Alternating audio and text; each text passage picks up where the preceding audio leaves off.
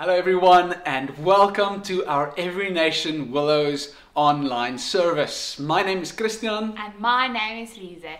You guys are so welcome.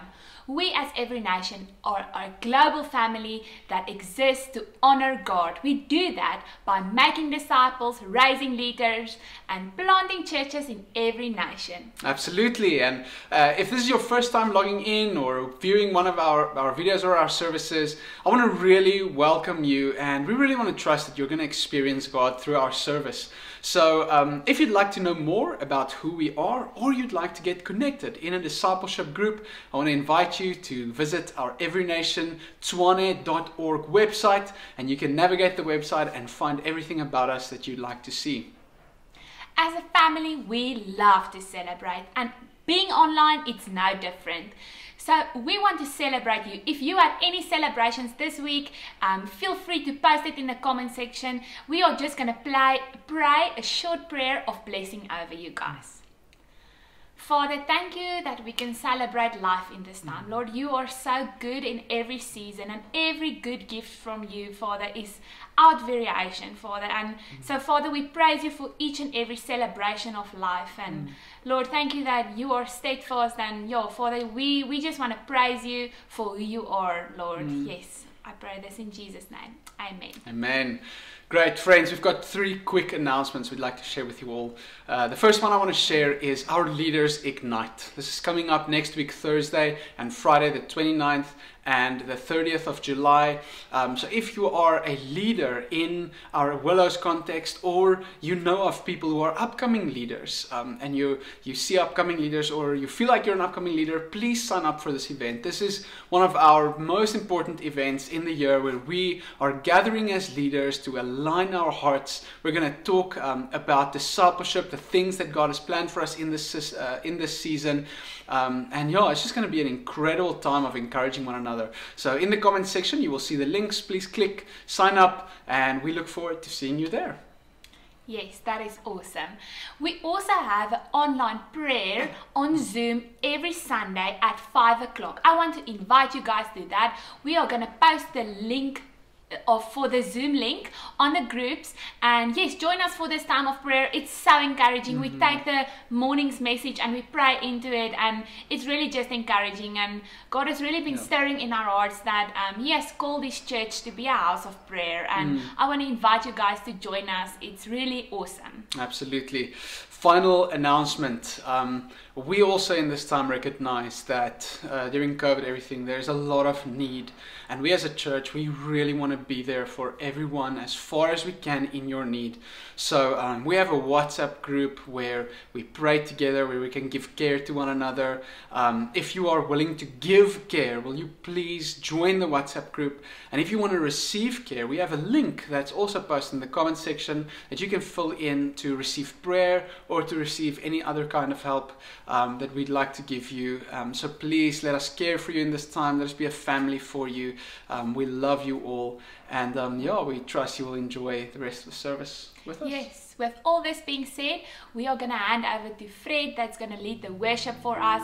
I really want to invite you guys to worship God mm. from your spirits and really to just enjoy His presence in this time. Mm. Luckily, we serve a God that is not limited to technology. So may you really experience Him in this time and may you worship Him with all your hearts. Mm. Yes. Good morning, family. It's so good to be with you once again in your homes all across the city. My name is Fred from the Willows congregation. It's good to be with you this morning as we just turn our attention towards the King and just worship Him together. Amen.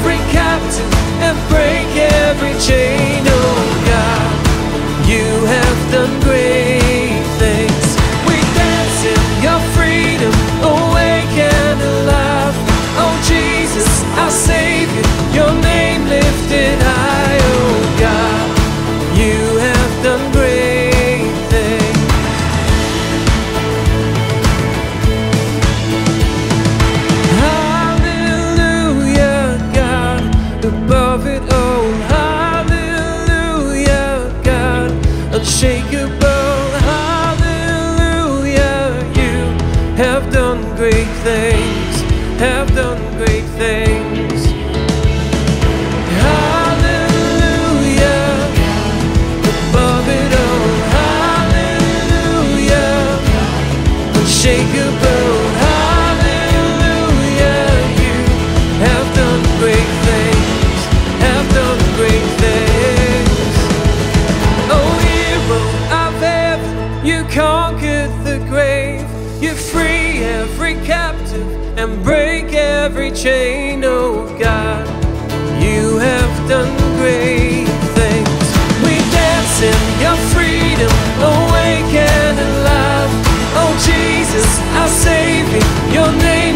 did I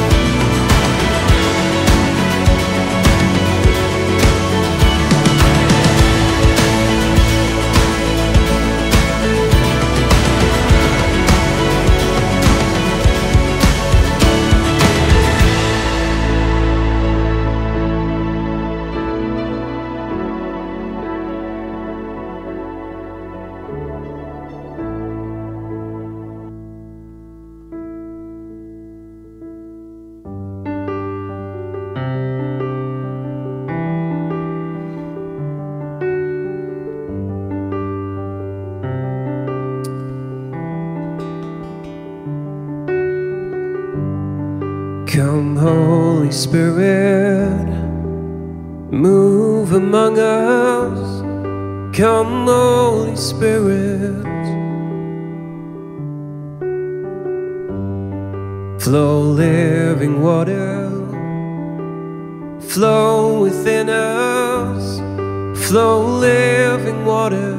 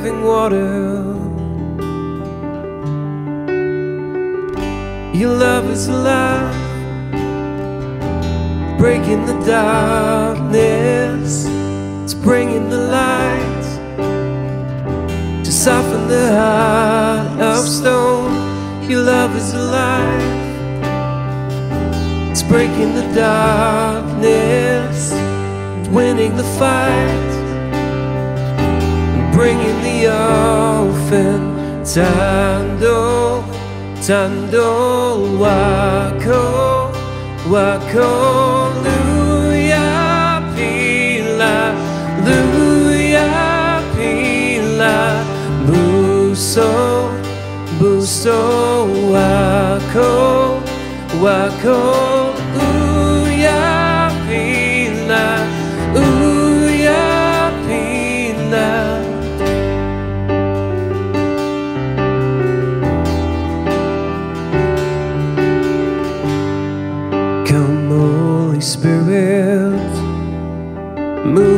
among us. Come, Holy Spirit.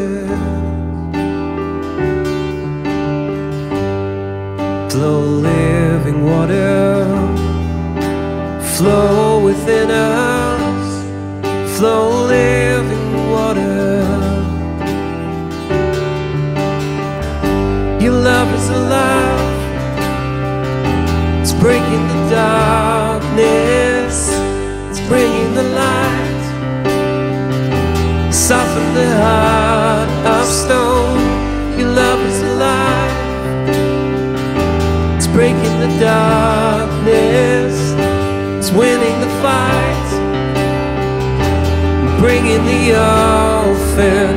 Tando, tando, wako, wako, luya, pila, pila, buso, buso, wako wako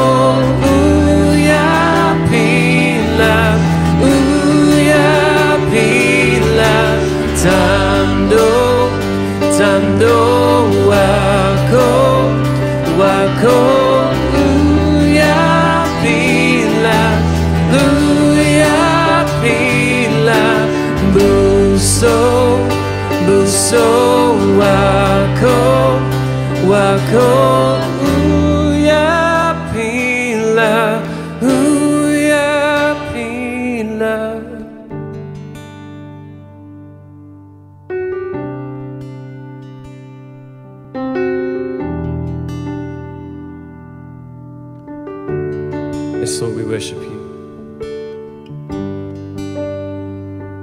We give you praise, Lord Jesus. We fix our eyes on you, Lord.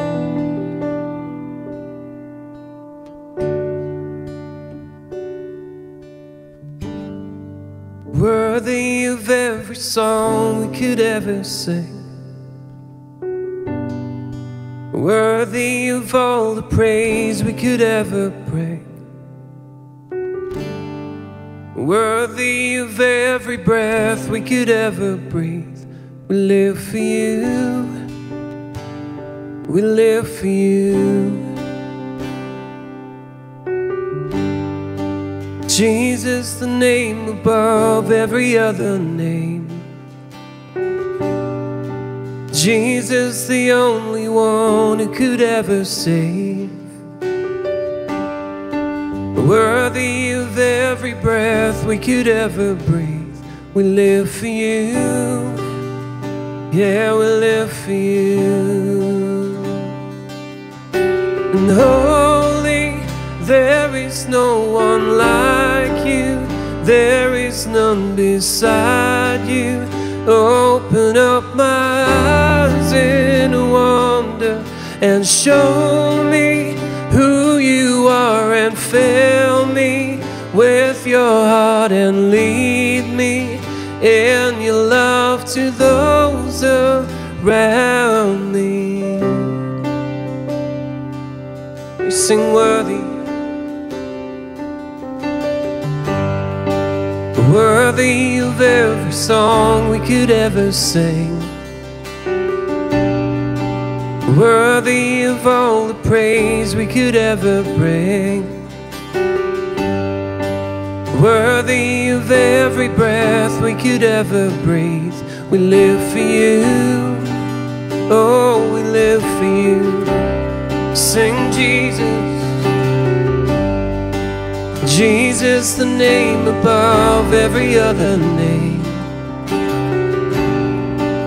Jesus, the only one who could ever save. Worthy of every breath we could ever breathe. We live for you. Yeah, we live for you. Holy and holy, there is no one like you. There is none beside you. Open up my in wonder and show me who you are and fill me with your heart and lead me in your love to those around. And surely there is no one like you. There is none beside you. Open up Show me who you are and fill me with your heart and lead me in your love to those around.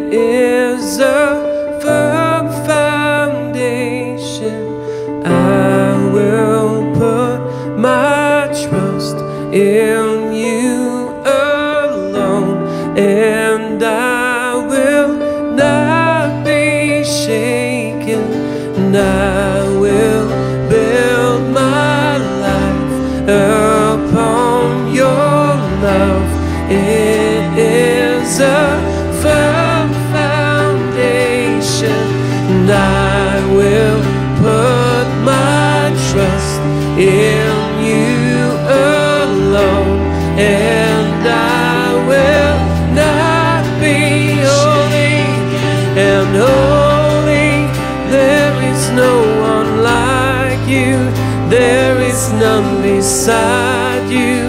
Open up my eyes in wonder and show me who you are and fill me with your heart and lead me in your love to those around me.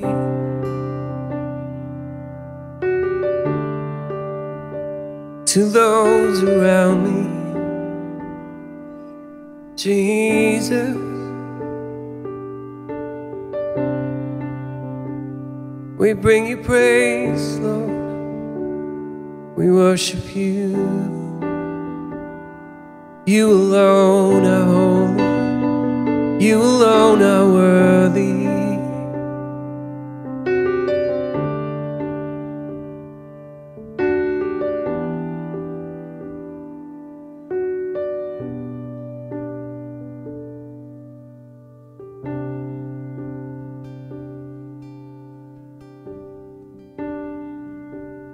we sing highest praises, Lord of all. We sing highest.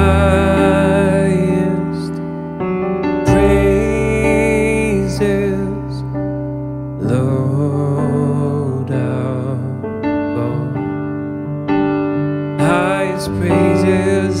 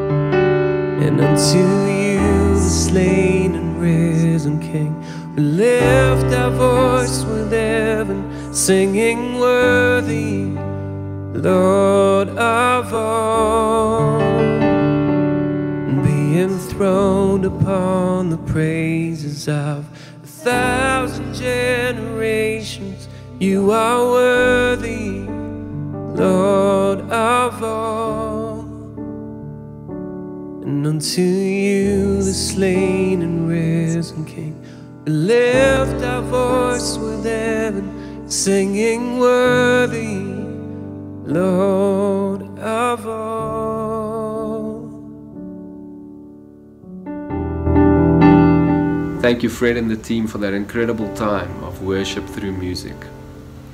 Family, I want to encourage us to, in this time, seek God and seek His presence. The scripture tells us that the times of refreshing will come from the presence of the Lord. And that is my prayer for us as a spiritual family to seek God, experience His presence, and be refreshed. Now, family, today we are continuing with our sermon series entitled We Are the Church. And today, Eugene Coetzee will be sharing with us regarding the responsibility of the church. It's my privilege to um, introduce Eugene Coetzee. Eugene has a massive heart for social responsibility and to see us as a movement living out this part of our mission statement. Eugene is currently serving as the CEO of Beulah Africa and the Every Nation Tshwane Community Foundation, which are both non-profit organizations. Eugene is also part of our Every Nation Lynnwood congregation and serving on the leadership team there. Family, I encourage you just to open your heart and make your heart receptive to the Word of God today as we listen to the message. Hello, everyone. Good day on this uh, cold uh, morning. Um, um, I hope you are doing well. I hope you're full of faith and you're trusting Jesus in this time and that you are looking towards Him. Um, as, as this is a time in our nation um, like never before that the church must arise. Amen. And it's like never before that we need to look to Jesus and not to, to circumstances. Um, I'm Eugene, and uh, it's a privilege this morning to share the word with you. It's a privilege to, uh, to preach the word to you. You guys are in a powerful sermon series. We are speaking about the church, how relevant in this time. And, um, and uh, this morning, I'm going to be speaking about, as we continue in this series, to be looking at just the responsibility of the church as we're speaking about being socially responsible. As part of our mission statements, every nation, um, you know, we, we exist to honor God by establishing Christ centered, spirit empowered, but also socially responsible churches and campus ministries um, across the nations. And so um, I'm excited that we're going to be looking at this. And we're going to be looking at the life and the ministry of Jesus and, and um, looking at his life to define biblically what's, what a socially responsible church is, or what a socially responsible disciple should be like, what it, what, what it is biblically, what does it mean, and so what then is the responsibility of the, of the church in, in this regard. And um, if, we, if we look at the life of Christ, and, and we look at the mission of Jesus, you know, he, it, it was a, his mission was extended by his disciples. Um, it was started by him, it was his mission. Um, and now, today, it is the ch- it's not the church's mission, it's God's mission that the church is on. And so, in terms of social responsibility, what does this look like? And um, like I said, we're looking at the life of Jesus. And for this, I am going to be looking at a scripture, at, a, at, a, at an incident, and that depicts just uh, so many incidents of Jesus' life and his ministry. Um, and the scripture we're going to be looking at is Mark um, I mean Matthew um, 8, chapter 1 to 4. The scriptures also found, or the story specifically, of Jesus healing a leper in Mark uh, chapter 1, verse 40. I'm going to make some reference to it. Um, but um, we're going to let's dive into the scripture and, um, and, and, and see what the word is saying to us this morning. And so, Matthew uh, chapter 8, verse 1 to 4. When he came down the mountain, that's Jesus, great crowds followed him. And behold, a leper came to him and he knelt before him, saying, Lord, if you will, you can make me clean. Verse 3 And Jesus stretched out his hand and he touched him, saying, I will be clean. And immediately his leprosy was cleansed. And Jesus said to him, See that you say nothing to anyone, but go, show yourself to the priest and offer the gift that Moses commanded uh, as proof to them. And so, um, before we jump into the scripture, you take a moment and, and just open up in prayer for us. Father, I pray that your word would speak to us this morning. I pray that your word would bring conviction and clarity. Holy Spirit, open up the life and ministry of Jesus and help us to see what we are called to as the church. Um, and that we will not just um, uh, have some knowledge about your life and ministry, but we will be moved so that we can act. In Jesus' name, Amen. I mean, so from the scripture, I'm going to be looking at just three things that stands out concerning social responsibility and the church. Number one, the mission of social responsibility. Number two, the sign of social responsibility. And number three, the power of socially, social, social responsibility. And so, number one, um, the mission of social responsibility. And in verse one, he says, When he came down from the mountain, and then the crowd started to follow him. And so, when we look at the ministry and the life of Jesus, um, he was always amongst the people. Uh, Jesus didn't stay in the comfort of the mountain with his father. It was his custom to wake up early in the morning. He would have his devotion, so to speak, and he would pray to his father. But then Jesus didn't stay there in the comfort of, you know, his, of the presence uh, of, you know, of God. He went down into the valley. He went down to the people. Um, he went to go see where they are, who they are. Um, Jesus went to the people. So mission is all about going, right? Mission is not about staying. It's not about waiting. It's a call to go to. Um, it's, it's not to wait for. And so um, many, many people are uh, passively involved in social responsibility, meaning that they are waiting for. We are waiting for the church to give us, you know, to tell us about a need. We are waiting for, uh, um, you know, the Department of Social Responsibility in our church, um, you know, to, to do something. And then maybe I, I, you know, if they convince me hard enough, I will give something towards them. And see, for Jesus, this was not the separation. For Jesus, social responsibility was not a department in his ministry. It was all about who he was and what he came to do as the mission sent by God and now continued by the church, us, his disciples, those who are following him. For Jesus, there was not this separation. It was not an NGO, it was not a welfare organization or a department in the church. For Jesus, it was part of the mission. But what Jesus did was, he left the comfort, of where he was. See, we cannot be socially responsible, you know, from our office chairs or our meeting rooms or even the four corners of the church walls. We need to get out. We need to go and look we need to move amongst the people. We need to see where they are. You see, for Jesus, social responsibility meant proximity. For Jesus, he, had to, he, he wanted to show his disciples that we need to get close to the people. We can't change lives from a distance. We need to get close to them. We need to move among them. And to really understand the issues in communities, friends, to understand who people are and what they've gone through, we need to get close.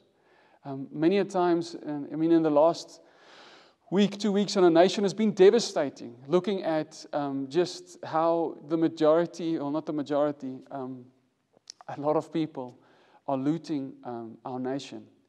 And so many, the majority of those people are poor people. And um, when it comes to poor people, I've heard a lot of people, even Christians, saying, oh, you know, the poor are lazy and, or they are useless.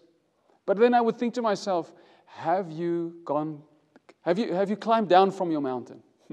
have you moved into their lives? Have you understand where they come from, what, why they are where they are, and what has happened to them? And so Jesus was trying to show his disciples that you need to get close. For you to understand really the issues and the problems in communities, um, we cannot solve it from, from uh, um, a boardroom.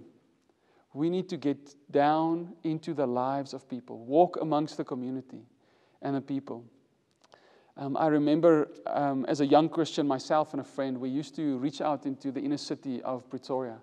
And still then, I think I had a, a lot of prejudges concerning the poor and people that are in you know, desperate need um, or are vulnerable. And, and I remember you know, reaching out to to, to these people. And um, we would go there night after night, bring them food. And once I started just hearing the stories of these people and hearing, uh, I remember this one guy, um, um, his name was John, him and his girlfriend, they were young. They were, you know, on drugs. They couldn't get free, um, living in drain pipes, literally in, in the inner city. And just hearing their story.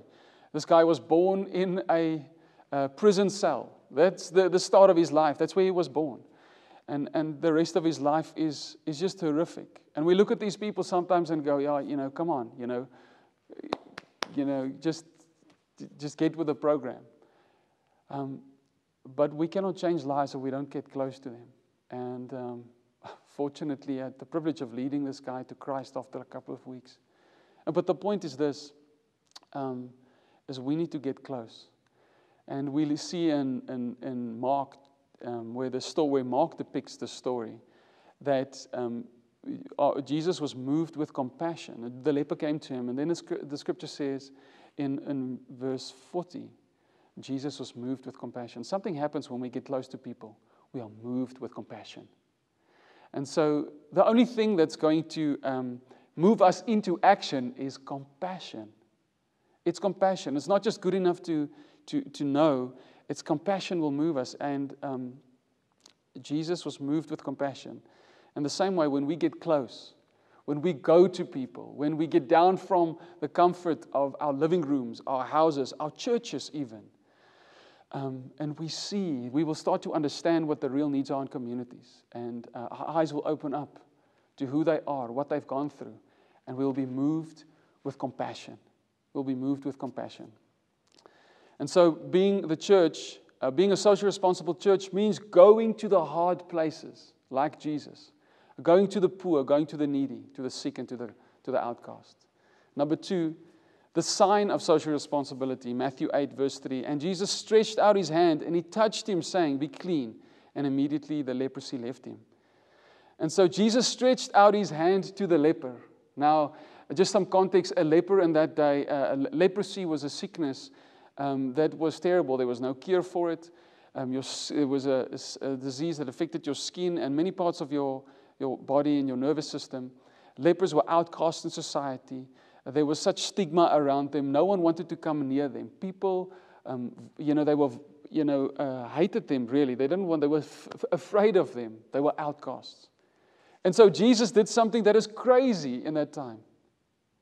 Um, he stretched out his hand and he touched the leper. He touched this, he, he touched this man. He was deliberate. Why? Why did Jesus do that?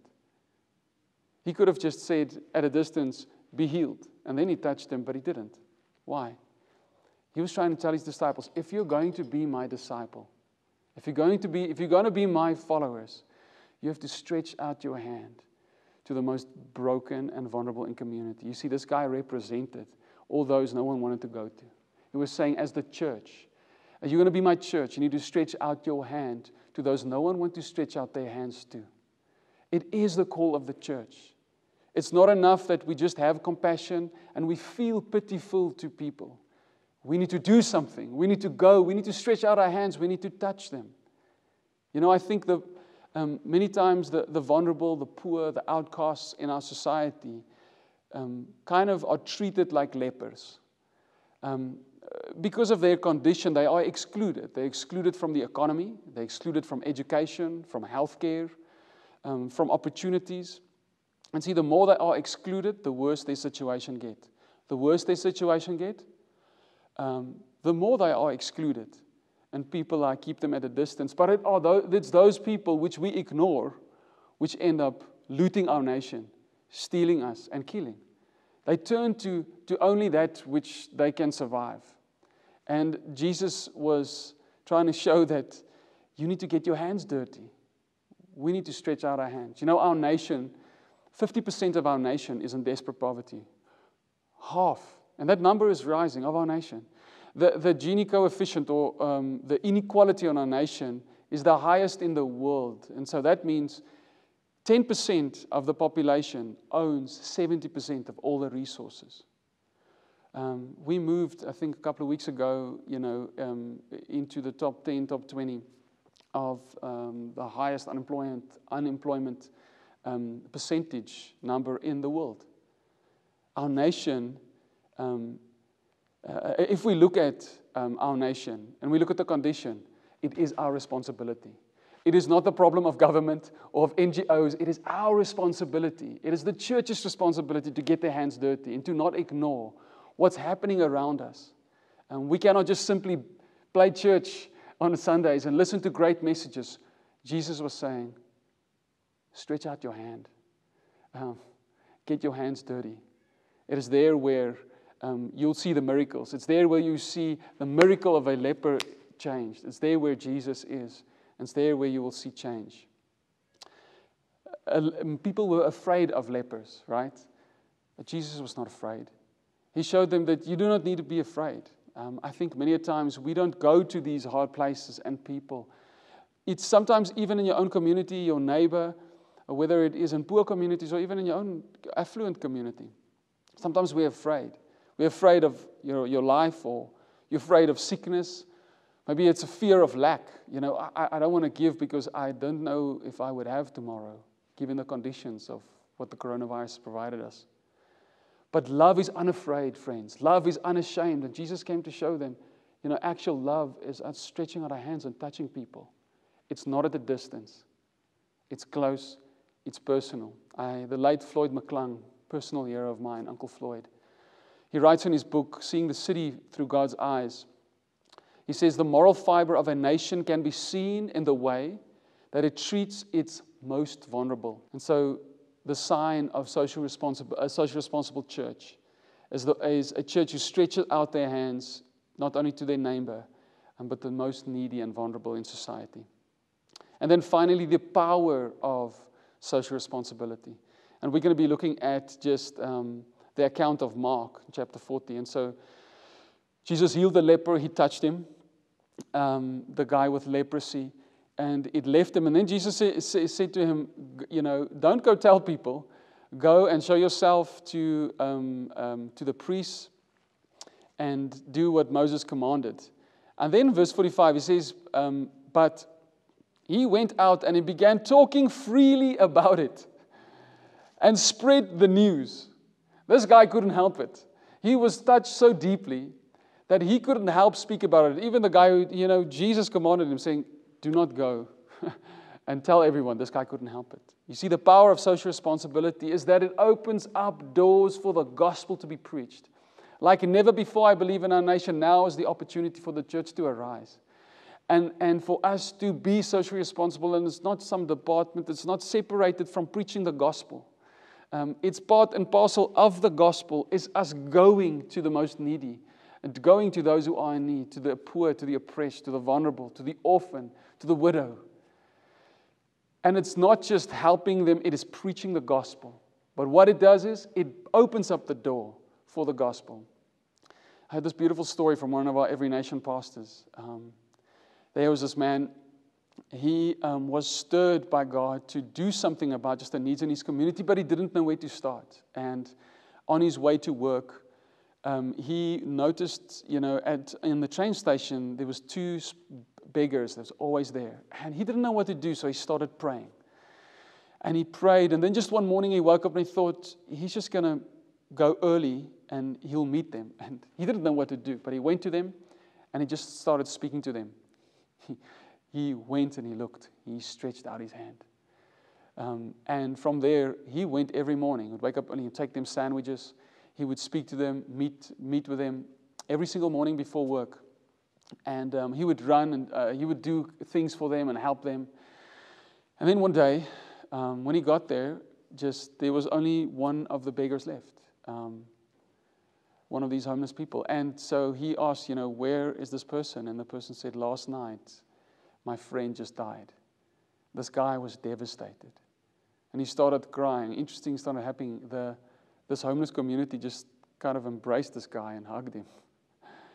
And they did it the, the, this homeless community said, Listen, thank you for helping us and our friend. W- wouldn't you come and do his memorial service? And so this guy was a Christian. He went and he did their, he, this, this um, homeless guy's memorial service with so many other beggars and homeless people around. And here's what happened this guy preached the gospel to all of them and they got saved. Uh, a small, just uh, relationship waking up early in the morning, just meeting with, opened up an opportunity for the gospel. Friends, social responsibility, the power of social responsibility, it opens up nations, it opens up communities, it opens up the heart of people for the gospel to be shared. And so, the power of social responsibility, it opens up um, the heart of people. um, as I conclude, um, I'm thinking about Matthew 25, and we're thinking about the responsibility of the church when it comes to social responsibility and, um, and, and how sometimes we maybe see it as the separate thing. It is something that, you know, a department does or someone that is called for does it. No, for Jesus, it was part of the mission of who he was, who he is, and what he is called to do. And so in Matthew 25, we see this um, Jesus speaking to his disciples about the end times, and he tells them about, um, and, and I'm just going to fall into, not, not read everything, but um, he's talking about at the end times he would gather everyone and this, the sheep and the goats and he would separate them. And he's speaking about the sheep here. And the sheep is, he said, For I was hungry and you gave me food. I was thirsty and you gave me drink. I was strange and you welcomed me. I was naked and you clothed me. I was sick and you visited me. I was in prison and you came to me. And then the righteous will say, But Lord, when did we do all these things to you? And he said, um, and the king will answer them, Truly I say to you, as you did to one of the least of these, my brothers, you did it to me. And it's interesting how Jesus associates himself with the most vulnerable in society. He almost says this it's almost like, you know, when you hurt my brother, you hurt me. And Jesus is saying, My church, I have died for them. I have died for these people. And it's the mission of my church that you would go to them. The sign of the, the sign of the power of the church is not just that the comfort of reaching out to those who come to the church, but us going to the church, to the most needy, to the most vulnerable, to the most broken. Therein lies the power of Christ. Friends, I believe that Jesus will not look at the government, about the poor people in our nation, about the, the, the issues of inequality and um, racism and the divide. He will, he will look at the church. We are his instrument. You are his instrument for change and transformation. When we look at the scriptures, when God wanted to do something in the nations or in a nation, when we look at the Bible, 99 to 95% of the time, he looks for his people. When it comes to vulnerable, poor, broken, outcasts, orphans, in society and God wants to do something, who do you think He's looking for? He's looking for His church. He's not looking for the institution, He's looking for, for, for, for you and me. I remember I just moved into a new um, complex, and this lady found out I was a pastor, and she brought me just a bunch of clothes, like bags and bags of clothes. And she's like, Yeah, the church, you know, yes, yeah, this is for the church. And I'm thinking, For the church, what must I do with the clothes? You see, the problem with this lady was she thought, you know, that being socially responsible is giving stuff to the church, and the church will do it. Socially responsible by association. No, friends. The church is called to be socially responsible. It is part and parcel of seeing the kingdom of God come, being established on earth. It's part of the gospel being preached in every community and every nation. Um, God has called us to be socially responsible. I want to encourage you from the scripture that God, God is calling you and I to go and look. He's calling you and I to, to see the needs around us. He's asking us to stretch out our hands and touch even the most difficult, the most vile, those society don't even like. And He's asking us to preach the gospel to them, to bring the good news to them. And I believe, like never before, friends, now is the time in our nation, like never before, that the church must arise. You, some of you are called, you are called to bring a radical transformation in society. As some of you, I mean, like William Wilberforce, he wanted to be clergy. And God said to him, No, you're going into government. And he changed a policy. He abolished slavery. Three days later, he died. Some of you are called to transform the educational system, the healthcare system. Um, but we don't need to, to, you know, we've got dreams to change the world, but it starts with one. Can you just reach out to one? Can you go and look?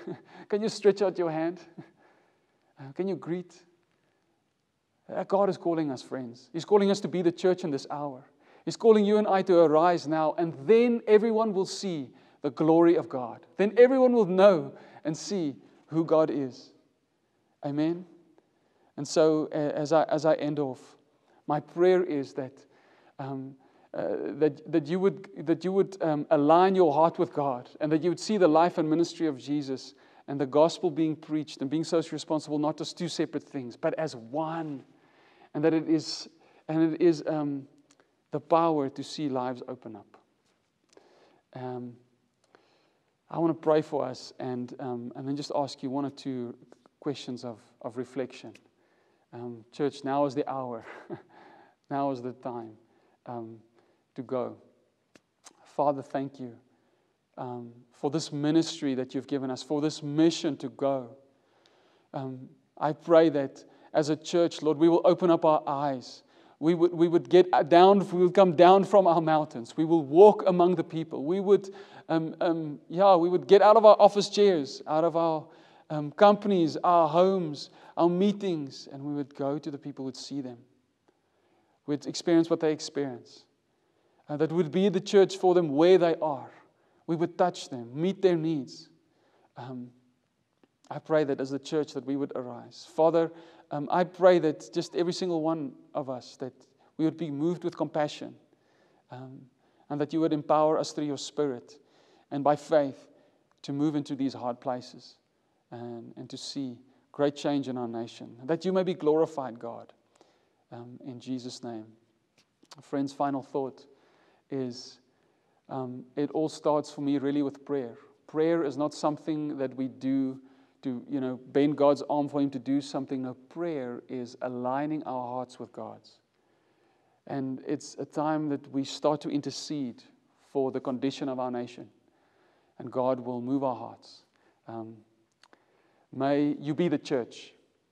May you arise to be followers of Christ as the Bible is calling us to be, as your Savior and Lord who died for you is calling us to be.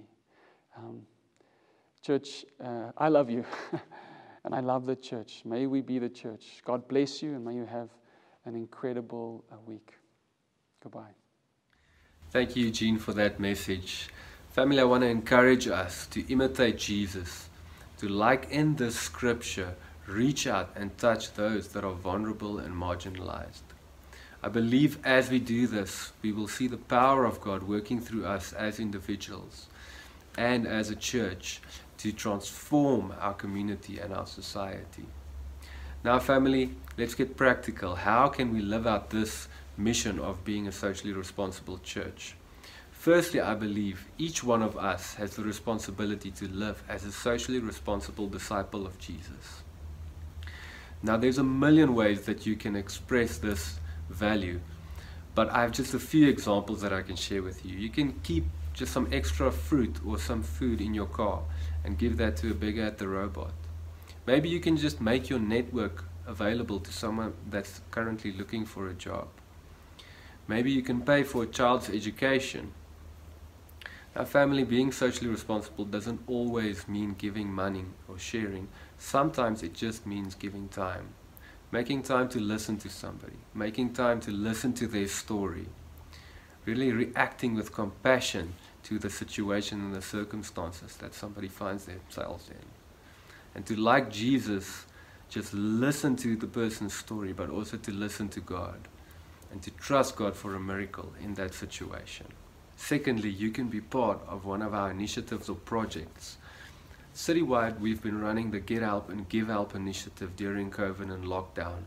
We've been able to assist more than 340 families through this initiative by giving them food vouchers or various forms of financial support and also medical support.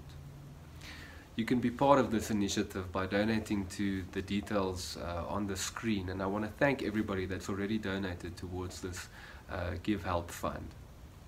Then also Precious Blessings.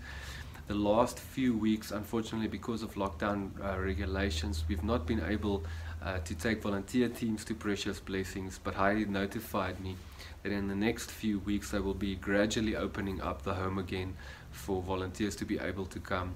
So if you want to get involved, please contact Heidi um, on the number on the screen. They really deeply miss all of our volunteers and um, look forward to seeing you at the home again. Family, thank you for joining us for church online and let me just close for us in prayer today. Lord Jesus, thank you that we can see your example in Scripture and see how you treated uh, the vulnerable and the marginalized people in society, God. And I pray that as followers of you, as your disciples, that we will also be socially responsible and act with your love and your care and with your power to towards these individuals within our churches and out of, outside of our churches.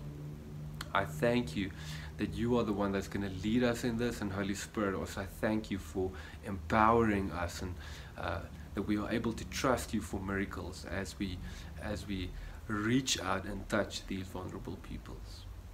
Amen. Thank you for joining us, family. We'll see you next week.